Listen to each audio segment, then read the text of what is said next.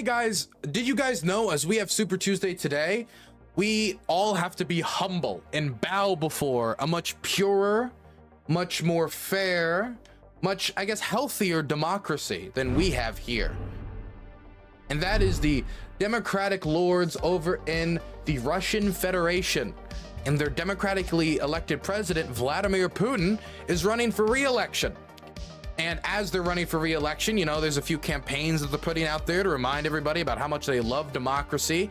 But something was really interesting about one of the more recent campaign ads, and that was. So the Russians said they were invading Ukraine for a lot of reasons. They said it was for denazification while they were sending neo-Nazi militias to go fight in Ukraine like Rusich. So I I didn't take that much. I didn't I, I don't really consider it that serious. There's reasons to believe that there was regime, there was interest in regime change. They talk about NATO expansion, they talk about a lot of things. But in this ad, they make it seem like the Russians are invading Ukraine and giving them democracy. Check out this political ad. It shows Ukrainian soldiers fleeing a position as the Russian armies advance. And, uh, well, you'll, you'll be able to put the story together.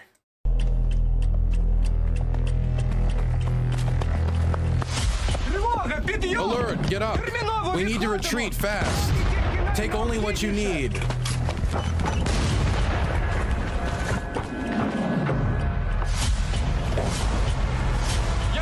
I said to take only what you need. So what they did was the Ukrainian kicked back his comrade, his soldier, as they're dealing with a manpower shortage, of course, because Ukrainians hate dogs. They decided to abandon him because he wanted to save, I guess, the unit's dog instead of, I don't know, the skulls of Russians or something. I don't know what it would be. Oh, you brought the dog instead of two extra cases of ammunition. Therefore, die, I guess, is the conclusion from the Ukrainian armed forces. I wonder if that was a Zaluzhny order that's just come into effect or a Syrskyi order. Assuming, I, I, I mean, if you ask the soldiers on the ground, I, I guess it would be a Syrskyi order, huh? And then the Russians come. I got this.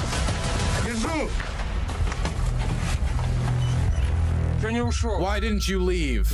I didn't have a choice. Well, now you will have a choice. Vote. Presidential elections, March 7th, 15th to 17th, 2024 candidates to the post of the president of the Russian Federation. Wow! Isn't that nice of the Russians? They brought democracy to Ukraine. See, before, this poor soldier was nothing more than a cog in the machine getting discarded because he loved animals. But now he has the option to vote for Putin, Putin in a funny mustache, or Putin with a sombrero. My goodness. What beautiful liberation. I this is meant for the Russian domestic population. This is not meant for Ukrainians. Uh, Ukrainians would watch this and they wouldn't be able to relate to the story, um, as in like the people in, in liberated Ukraine. This might be intended for occupied Ukrainians, those in occupied territory, saying we will now give you a choice, but I don't think that'll have really any impact on them. Um, from the reports that we've gotten from occupied territories, from the footage we've seen, uh, ballot stuffing is an activity that is occurring. Many people are, are taken from their homes by people with rifles to bring them to the voting stations. I don't think that inspires the idea of a choice like they're trying to present in this video. So I think ultimately who this ad will have the most effect on or may might have been directed towards, it's hard to say.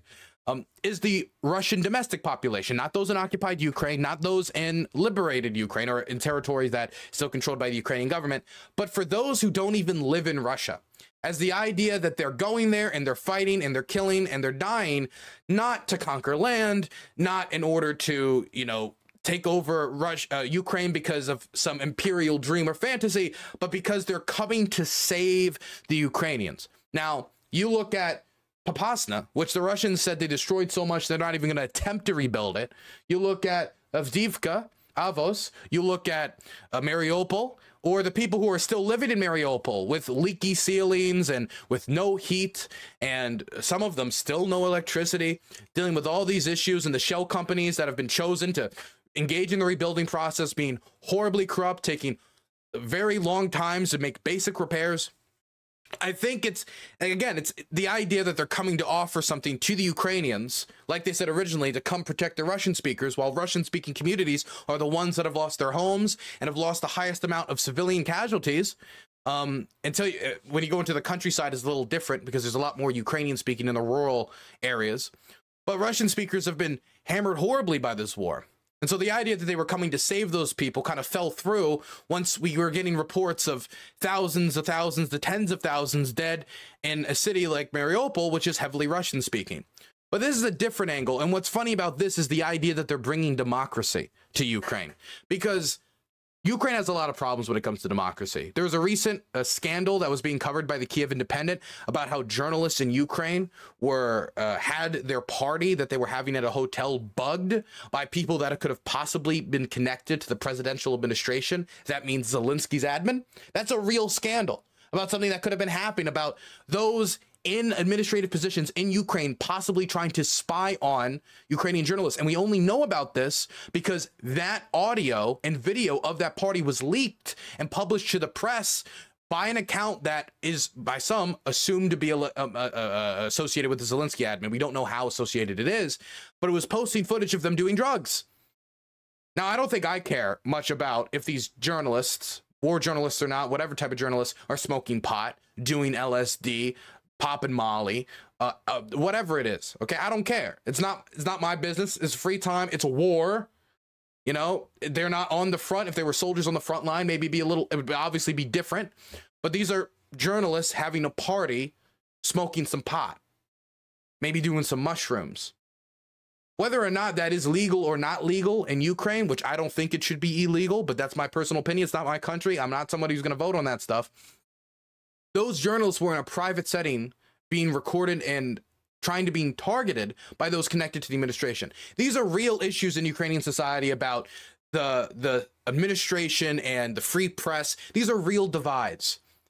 But when you ask election monitors about the 2019 election that brought Zelensky into power, they say that the exit polling data reflects the actual data of the election that was published by the government. They say that they could not find evidence of malpractice that that overturns election results. Petro Poroshenko, when he lost that election, he turned over the keys of power over to Zelensky. He didn't try a coup. He didn't try to get soldiers to take the capital. He didn't argue that, oh, Zelensky's too weak on the Russians. Right sector, come save me. He didn't do any of that. He passed over the keys of power. Do you think if by some crazy miracle, if March 17th we found out that actually um, Nepsov or or whoever ended up winning the election in Russia, that Putin would be like, okay, well, you know, we're putting here's the keys. Of course, the system is not built like that. But if it somehow produced that result, would that happen? Do we have an idea that that would happen? Of course not. While there is a lot of problems with the Ukrainian democracy when it comes to uh, freedom of the press, when it comes to uh, oligarchical control, when it comes to transparency, even though there has been advances in that when it comes to programs like ProZorro, on every metric, on every metric, you can use Freedom House, use whatever metric you want. The Ukrainians are advancing in a direction that allows more transparency when it comes to the type of corruption scandals that they've had. ProZorro is an example of that. The Ukrainian, gov- the American government has helped them when it comes to that issue. When it comes to election monitoring and making sure that there's not election fraud or uh, an attempt to alter the results of the election as what happened in Ukrainian society in 2004, which caused the Orange Revolution. Ukraine is moving in the right direction and it wants to continue moving in the right direction. Its civil society wants to keep moving in the right direction. While the Russians are invading to not spread democracy. Has nothing to do with democracy. This is fantasy for the domestic population. In fact, the Russians installed a senator in occupied Ukraine who's an open, out and about fascist who compares Ukrainians to monkeys. Do you think Ukrainians would openly just elect with no pressure on them somebody who thinks that they're monkeys? It makes no sense. Oh, I wonder if DC is going to vote in George Wallace to be their democratically elected representative. It makes no sense. And so I look, I, I obviously I feel like I'm kind of beating a dead horse. We all know that Russian democracy is uh, a little far from, uh, I guess, the international standards we would like to hold it to. But the idea that they're invading to bring the Ukrainians a choice is just so silly. I, I just couldn't resist. Also, uh, another another uh, film. I don't know if we're gonna call this propaganda or what we're gonna call this. This is a video done by a Russian clothing company where they have released for the anniversary of Stalin's. Uh, well, I don't know if it's for the anniversary of Stalin's death, but for those of you who don't know, today is the anniversary of Stalin's death when he died in a puddle of his own pee, and his guards were too afraid to go check on him, and then he died. Anyway, uh, this is a outfit that was supposed to emulate Stalin. I don't know if you guys saw that outfit Dmitry Medvedev wore that looked like Hillary Clinton's pantsuit because it was blue. It looked just like it. This is that. This is supposed to be an outfit to commemorate Stalin and his style during the Soviet regime. And he just and this company that was selling these outfits, this Russian company, decided that to promote it, they would have a model walk through destroyed, occupied Ukrainian territory, posing in Stalin's wardrobe to promote it and get Russians to buy it. Вот бы справить мне костюм себе из Сталина, из мистического... By the way, the song that's playing is like a pro-Stalin song, like praising Stalin, remembering Stalin. Тело тверже стали на сапоги и галифеда в белом кителе И летать бы в нем быстрее истребителя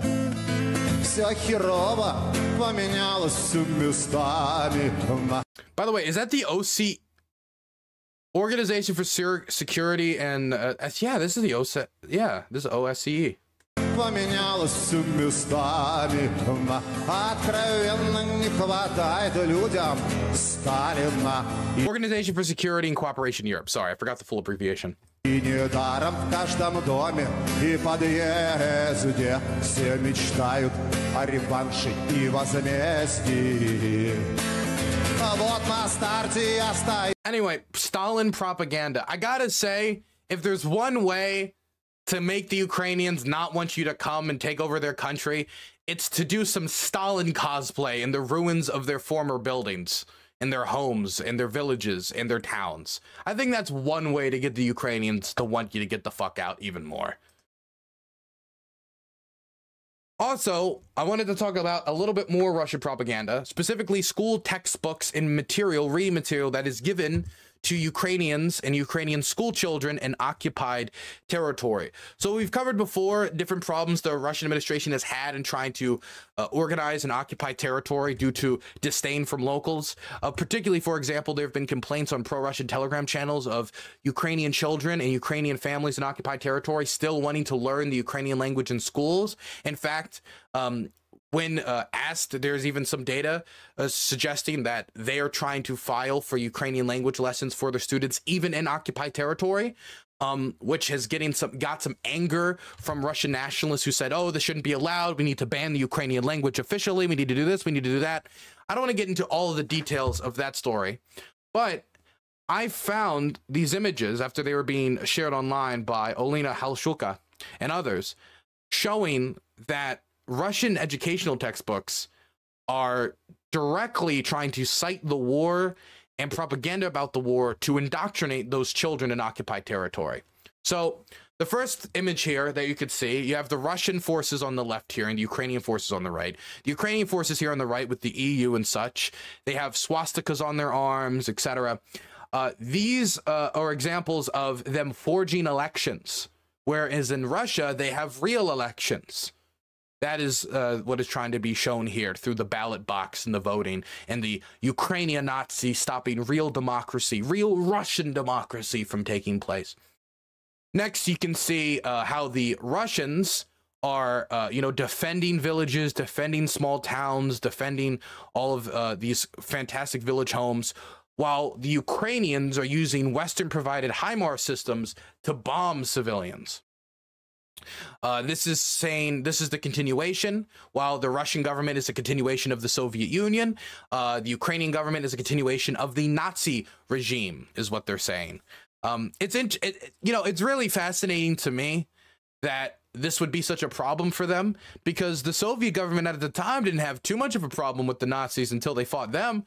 They were willing to give them German communists to get killed in the Holocaust. They were willing to help them invade Norway before, you know, the Nazis killed tons of people in Norway, Jews in Norway, and genocided them. They provided them tons and tons and tons of resources for the war machine. Hell, when the Germans invaded the Soviet Union, they actually scheduled their invasion to make sure that the last Soviet resource transport goods, the last uh, the last resources that they could get through their trade deals would actually cross the border and they'd invade an hour afterwards to make sure they can get as much material out of the Soviets before invading. So if the Soviets, I mean, even if we took, let's say, okay, fine, Zelensky the the Jew who implemented not uh, discrimination protections for LGBT people in the workplace. Sure, he's a he's a he's the most self hating Jew in the world. He's the leader of the Fourth Reich. Even if you were to buy that at its face, why couldn't Putin just do what Stalin did with the Nazis?